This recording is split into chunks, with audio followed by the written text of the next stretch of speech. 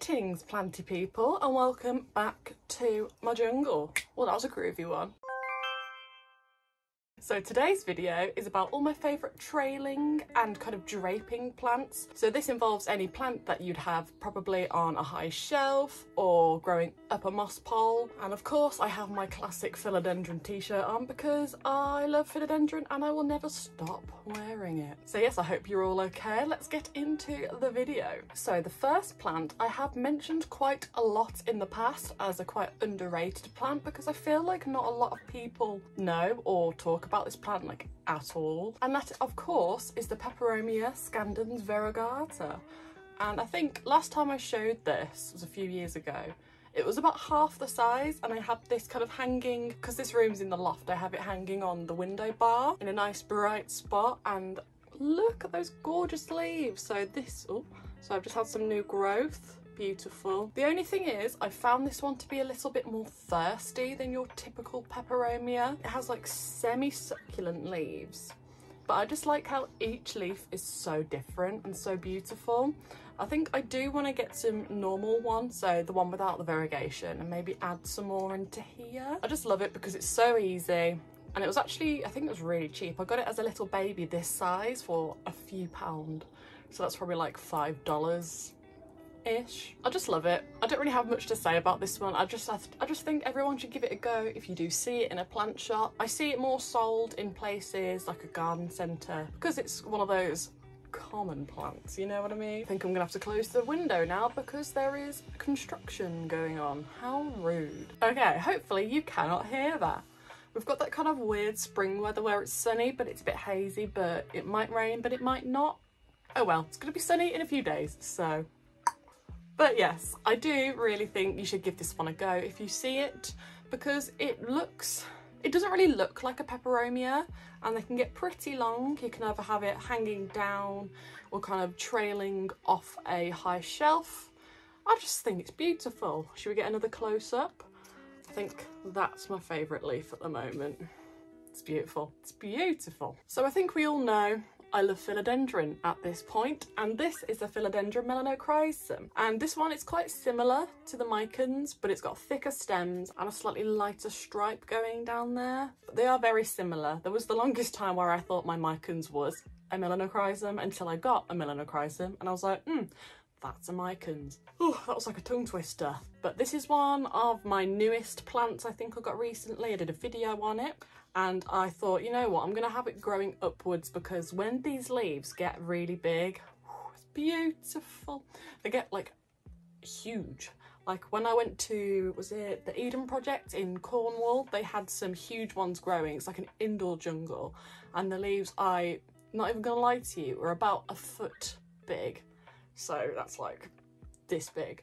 And then I fell in love with them and now I'm obsessed with philodendron. So that's, that's kind of, I knew that was going to happen. Because the stems are quite thick, this is just a kind of temporary fix. Eventually I'll train it to grow a bit more straight. Maybe chop it up and make it a bit bushier, but I just, I love anything velvety. And I found these to be quite easy. Just don't overwater it and then they can grow quite quickly. There was a time where these were like really popular. A lot of people have got a bit sick of it now. Not me though. Um, I did have a few cuttings from, from some friends a while ago, but they didn't live. So that's why I, I thought I would treat myself to, you know, a full plant. And I did manage to get a little baby from it as well that I'm propping, which I'll will eventually add to this. And this one likes kind of a bright spot, but not direct, like most philodendron. So this one is actually surprisingly long. And this is the Peperomia Pepper Spot, I believe. And same story with the other Peperomia. I got this as like a tiny little two pound plant. Didn't think it would grow that much, but was I corrected? Yes, I was. So it currently lives on quite a high shelf. So it kind of drapes down and it's in a lovely bright spot. And this one is so easy. As long as you give it a really bright spot, don't overwater it, it will grow like this in absolutely no time. I think I am going to prop some bits off though because it's getting a bit bold on the top. Don't look, don't look. But I just love the little tiny leaves. I just think it's really cute and it's got that kind of red hue on the stems. I just think this is a really good alternative if you have a lot of beef with string of pearls. This is a good alternative as it has a similar look but it won't break your heart and make you very angry. you can actually wear it as a necklace or a garland. It's really up to you. Oh, that really tickled. Okay, see if you can guess what the next one's gonna be.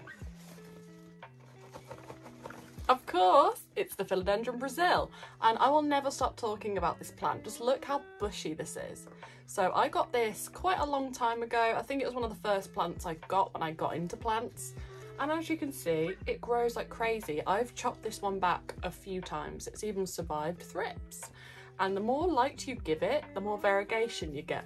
It looks a bit more like a neon pothos, even though it's not the same genus. I just love how when you get a new leaf, it has an orange hue to it, so it adds even more depth variation. It just grows so amazingly. So I have this on a, a high shelf on a bright spot, but not too bright. And I have these little clips so I can kind of get it to grow across because these guys like to lean on things. You can have it growing down, but I found that you will get slightly smaller leaves and I want to get this one as big as possible. You can get these quite cheap as well because they're one of those common plants like I was speaking about earlier and it's honestly one of the easiest plants I own. I think I, I water it every two or three weeks because they've got quite thick stems they hold a lot of water and the roots don't get too big so you don't need to upsize it as frequently as a lot of common plants. I think this is one of my favourite kind of bushy plants and I will never stop loving it. I just think it's gorgeous. This leaf here, that one's my favourite leaf. I think I do want to get some slightly more rare variety. It's either Rio or Cream Splash or both. Can't remember. And I think it'd be really cool to kind of incorporate them all together and mix them all together.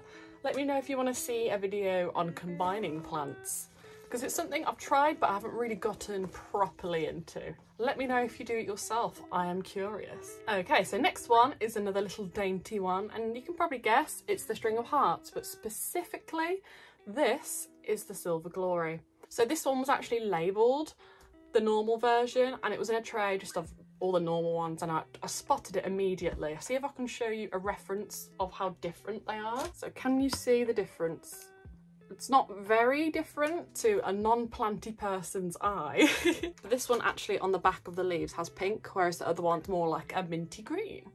And the actual, and the tops of the leaves are a lot more cool toned. I don't think these guys are that expensive, but they're just a little bit trickier to find.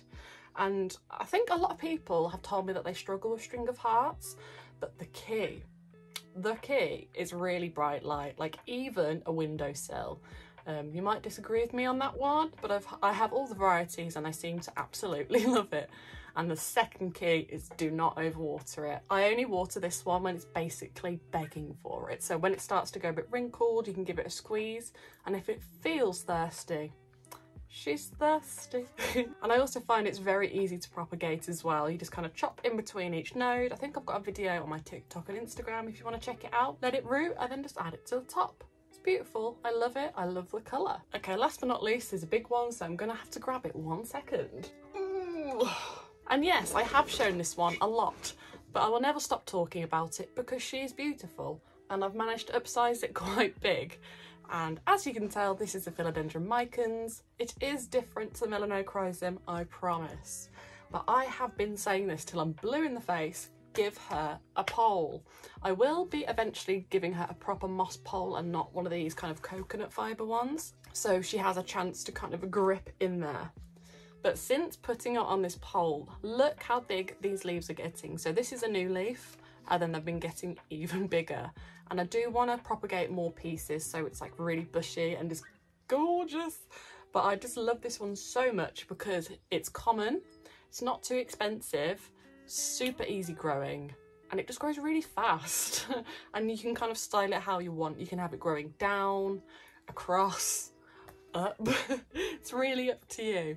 But i do find you get bigger leaves growing things up things does that make sense?